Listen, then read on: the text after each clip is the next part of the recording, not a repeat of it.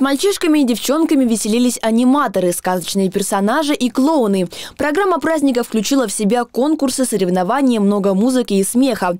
Подобные мероприятия уже давно ждали не только дети, но и взрослые. 1 июня прошел День защиты детей. В будний день мы не стали проводить этот праздник, мы решили организовать для детей нашего соснового бора праздник веселый праздник, собрать всех ребятишек. Праздник давно не проводился.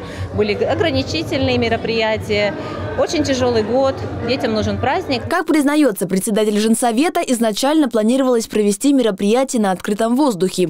Но из-за неподходящей погоды организаторам за ночь пришлось искать помещение. Я, честно говоря, сам не ожидал, думал, погода нам все испортит. Но на самом деле оказалось, что еще и лучше, что мы под крышей все вместе.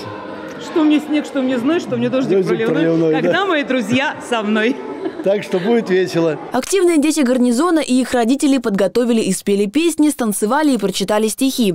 А главной фишкой праздника стала настоящая солдатская каша. В организации нашего праздника принимали, принимали участие не только активные жители нашего городка и наш женсовет, но и э, депутат городского совета Перепелица Анатолий Владимирович. Огромное спасибо, потому что сейчас это для наших детей было это очень важно, нам это было очень важно, потому что давно праздники не проводились. На данном отрезке времени это очень важно. Особое внимание обратить деткам э, военных городков,